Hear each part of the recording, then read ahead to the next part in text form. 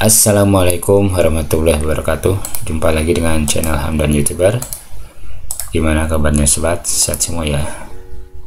Seperti biasa saya mengucapkan terima kasih pada pihak-pihak yang telah mendukung channel saya dengan cara like, subscribe, memberikan komentar, dan share video saya ke sosial media yang lainnya. Tidak lupa saya mengucapkan terima kasih pada pihak-pihak yang telah berbagi pengetahuannya dan yang paling utama adalah semoga keselamatan dan kesehatan tetap ada pada diri kita semua. Amin ya rabbal alamin. Nah seperti biasa saya akan menjelaskan mengenai, mengenai Microsoft Excel. Di video kali ini saya akan menjelaskan penggunaan rumus N juga OR. Ini saya ada saya siapkan ya tabelnya. Tabel uh, sehari-hari. Kita pengen ceritanya ini kita pengen beli laptop nih. Laptopnya ada empat ya. Survei ke empat toko. Atau karena secara online kita surveinya di online aja ya. Biar mudah nih eh, ini kita kasih warna dulu ya merah. Merah. Kondisi yang diharapkan. Nah kita sebagai pembeli tentu punya kondisi yang diharapkan kan. Spesifikasi laptopnya bagus harganya murah nah itu ya. Nah ini yang nanti yang akan kita gunakan rumus N dan OR ini biar mudah warnanya nih biar kelihatan menarik apa ya. Ini aja lah. Apa nih? Oke itu aja ya. Ini biar beda juga warnanya kita ngasih apa nih. Wah more color. Nah ini hijau nih. Wish biar enak warna dulu nih biar enak. Lihatnya. Oke nah sekarang kita mulai ya. Penggunaan rumus N. Kalau ininya sedikit karena kita saya memberikan contoh yang sedikit mungkin bisa mudah ya kita manual. Tapi kalau terbayang kalau teman-teman uh, mempunyai data yang banyak misalkan di sebuah pekerjaan perusahaannya. Itu kan ratusan nah ini kita nggak bisa manual. Pasti ada sesuatu yang salah ya kelewat. Kita harus menggunakan rumus. Nah ini rumus N dan OR N itu bahasa sederhananya. Jika semua kondisinya adalah sesuai maka hasilnya true. Nah ini bisa digunakan nih. If all conditions are true then the result is true ya kondisi yang kita harapkan dari spek itu adalah seperti ini ya. Speknya bagus nih harganya murah. Maka ini bisa nih N. Kalau kita di laptop satu karena sesuai dengan yang diharapkan maka hasilnya akan true.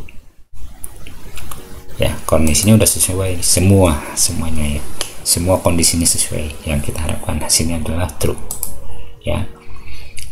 Hmm, kalau di OR nggak bisa or juga bisa jika salah satu kondisinya adalah sesuai. Maka hasilnya true. Ini sesuai ini malah dua-duanya jadi hasilnya true. Ya di or juga. Kalau salah satu bisa masuk nih. Contoh yang kedua nih. Laptop yang kedua itu speknya bagus cuma harganya mahal. Nah di rumus N nggak bisa hasilnya nggak bakal true.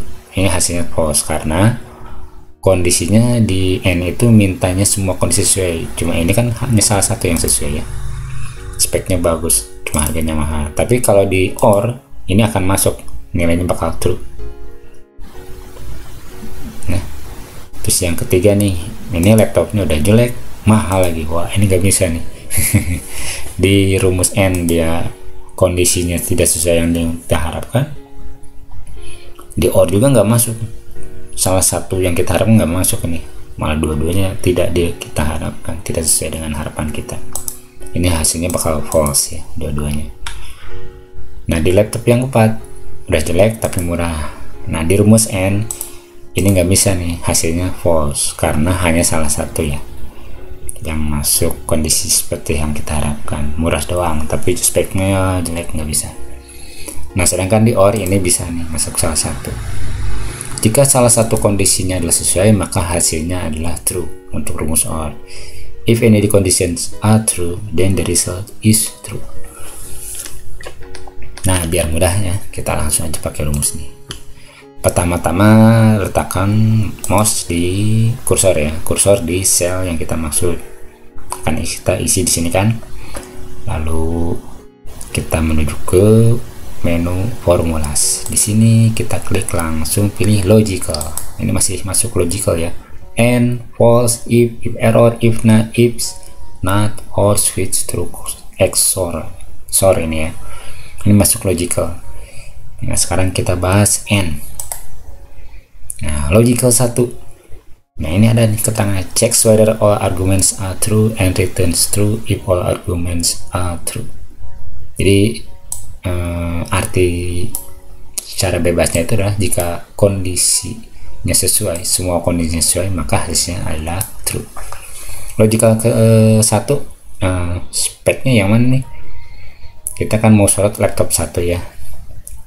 Melihat speknya. Berarti C1 adalah di deh maksudnya laptop satu adalah di spesifikasinya itu di C6 Nah, spesifikasi yang kita harapkan adalah apa? Bagus. Makanya uh, logical C logical 1 C6 sama dengan ya kita ketikkan. Karena huruf kita pakai tanda kutip. Ya, langsung ketikan bagus. Ya, spek yang kita harapkan bagus. Logical kedua. Nah, ini di sini harga harga itu ada di kolom harga laptop satu ya. Ada di sel D6 nih kelihatan di sini Ush, harga sel D6 D6 itu hmm, harganya pengen apa? Pengen murah ya di sini. Sama dengan tanda kutip murah. Tanda kutip lagi ini bisa sampai beberapa sih sampai 255 kondisi ya.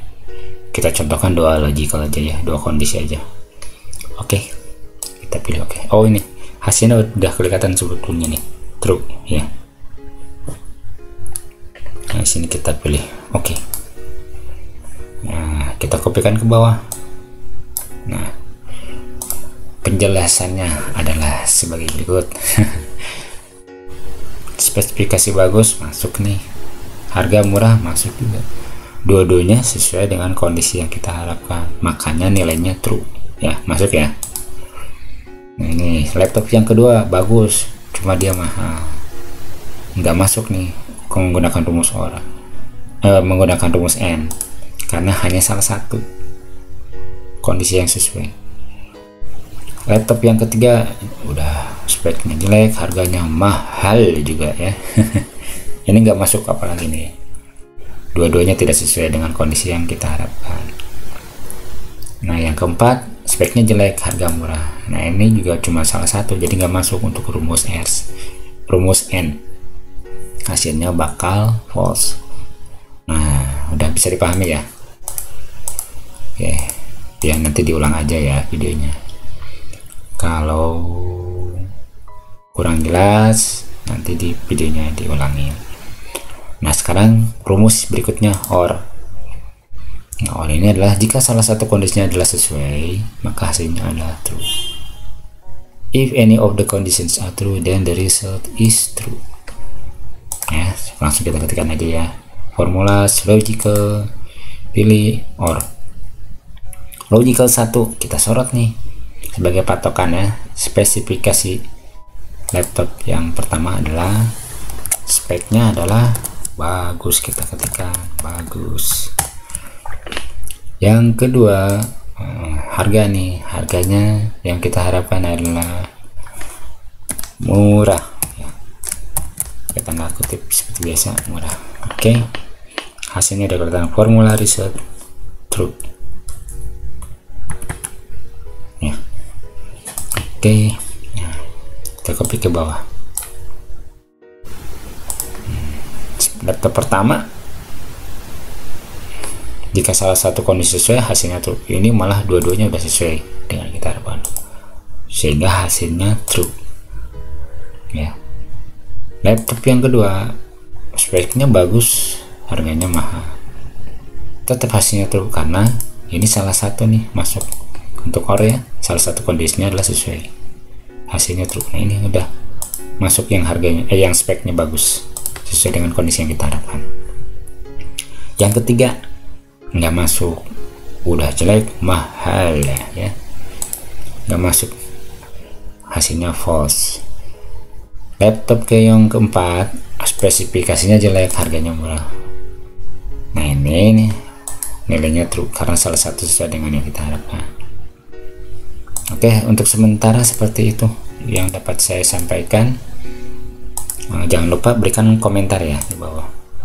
Dukung channel saya dengan cara klik tombol like lalu subscribe channel saya dan nyalakan loncengnya supaya teman-teman tidak ketinggalan video berikutnya. Semoga bermanfaat. Bila taufiq wal hidayah. Assalamualaikum warahmatullahi wabarakatuh